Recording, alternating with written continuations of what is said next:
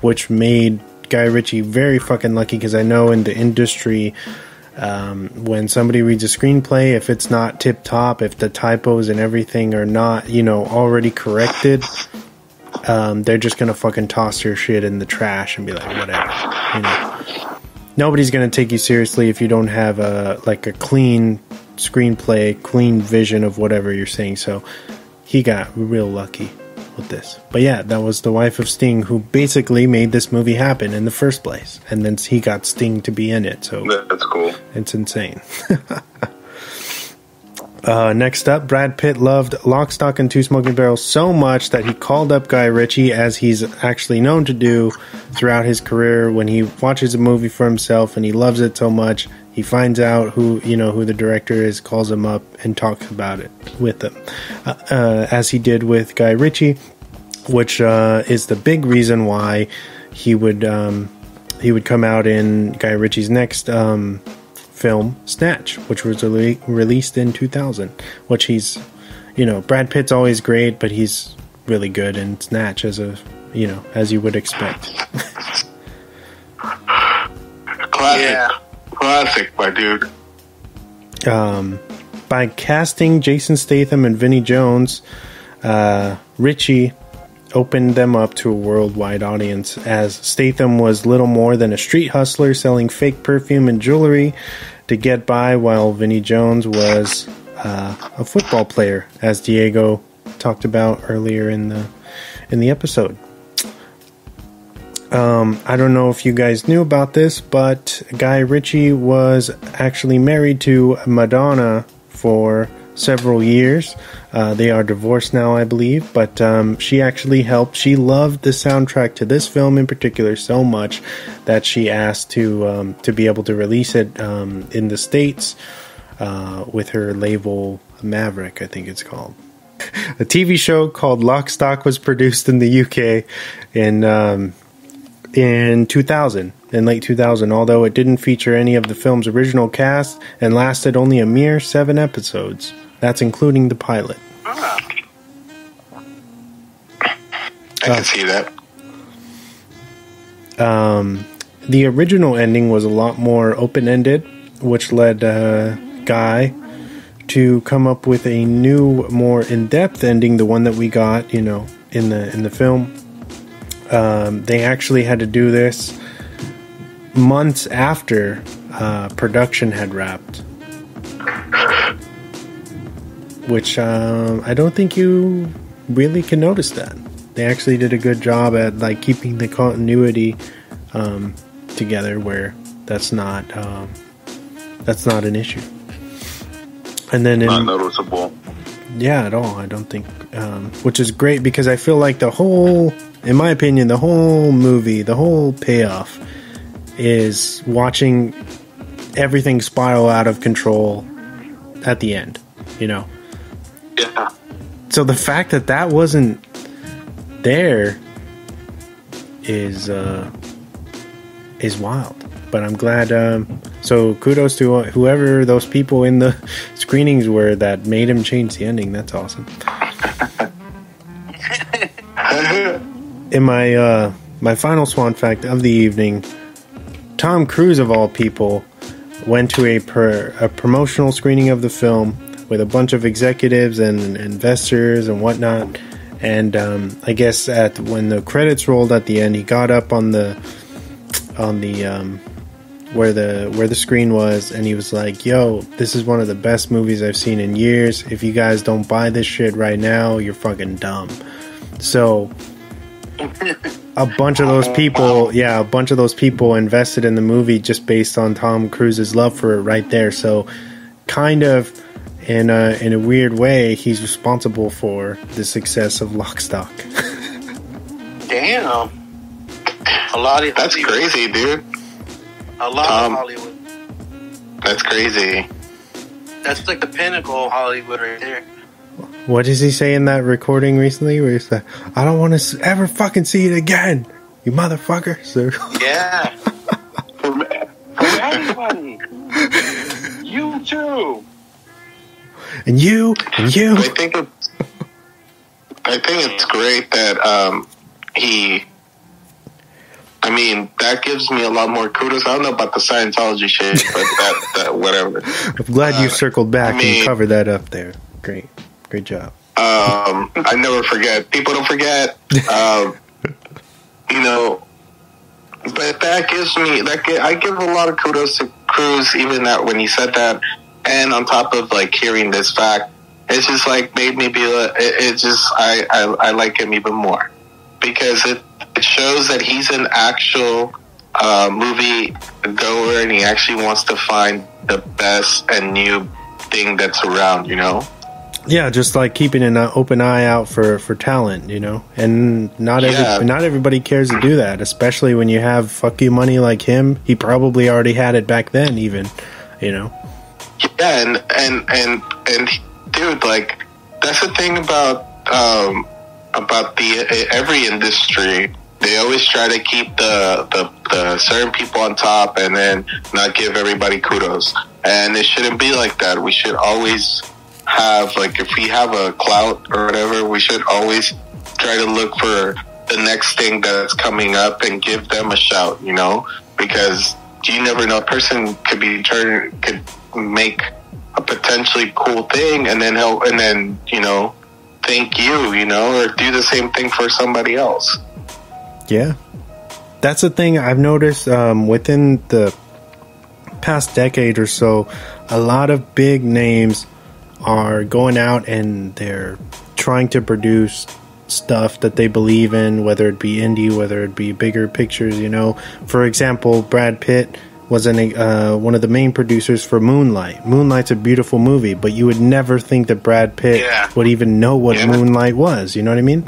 So that's awesome. Or uh, another great example, the original John Wick.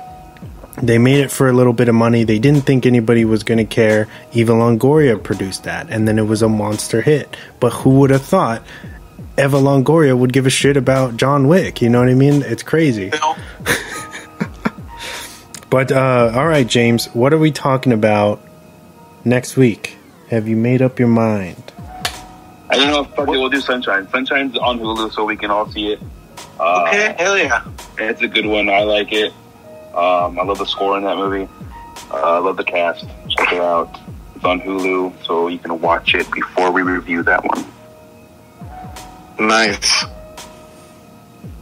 For sure, Sunshine. I Sunshine. haven't seen it.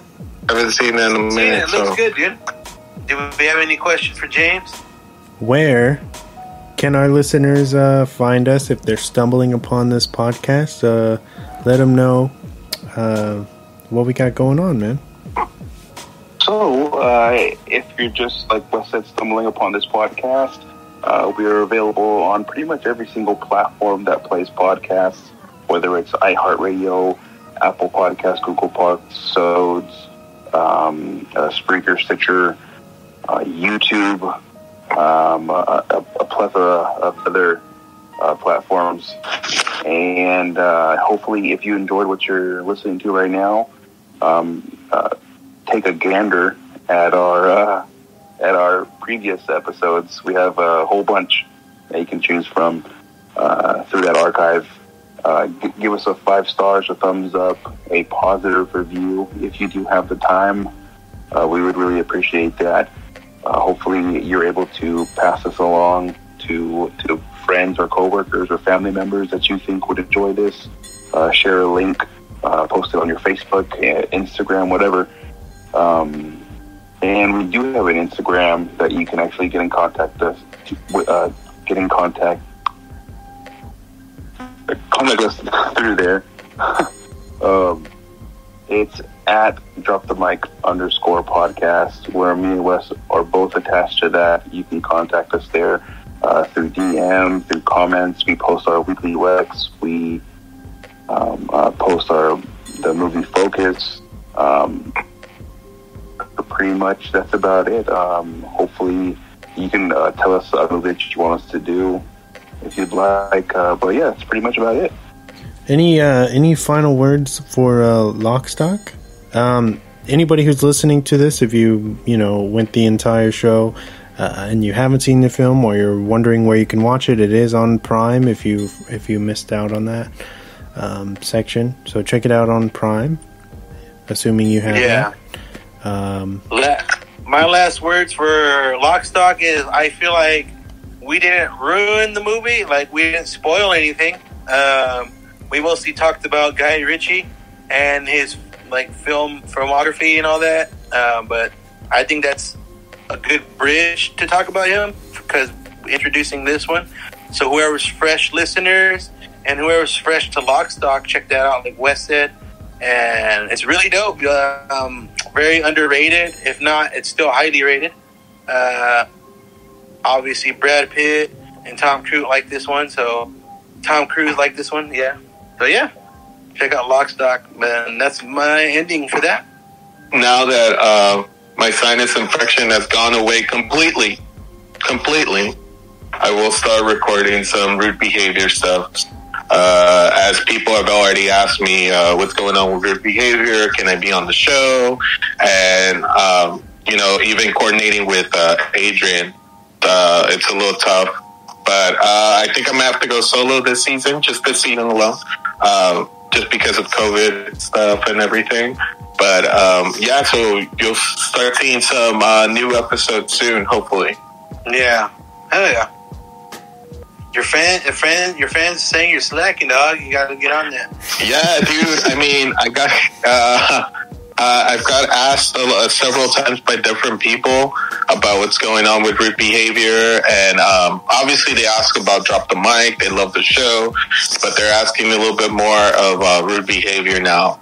So I am, um, I will oblige a lot of people by releasing an episode soon. So be on the lookout for that.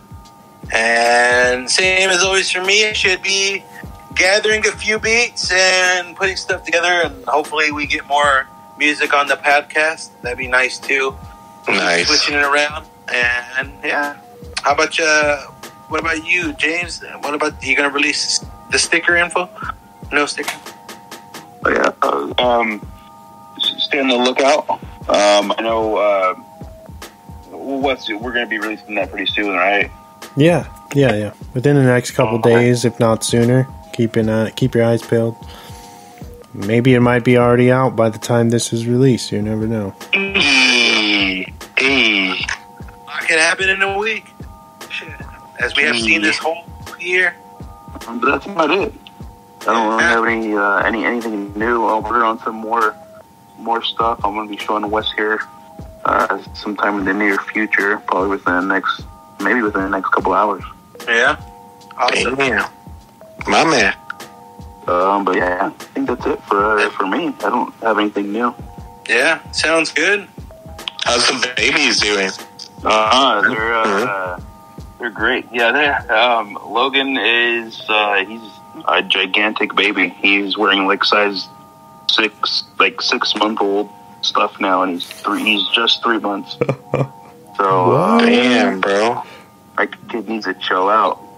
Damn, bro. Creating mutants over there? What the fuck? Um, uh, Gathering the X-Men? Gathering X-Men over there? uh, gifted children. That's a nice, dude. It's always great to hear, you know, your children doing well and stuff. Oh yeah, I wouldn't have it any other way. nice man. Until next time, we're going to talk about uh, All right. sunshine, right? A little Sunshine. sunshine. Walking Fuck in the sunshine.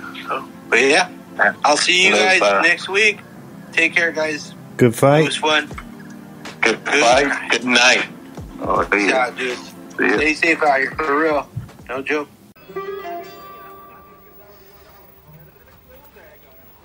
Where did you get these? A fucking museum? Nick the Greek.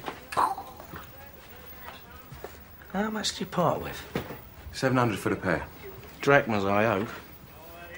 I'd feel safer with a chicken drumstick. These are going to do more harm than good. Jesus, Tom. Do these work? Don't know. They look nice, though, don't they? I rather like them. Oh, that's top of the list of priorities, that is. Ladies, back to more important issues, if you don't mind. We have only got two real guns. Apparently, that's what they are. So we find a good place to hide next door. We wait till it sounds like the right time, then we jack in the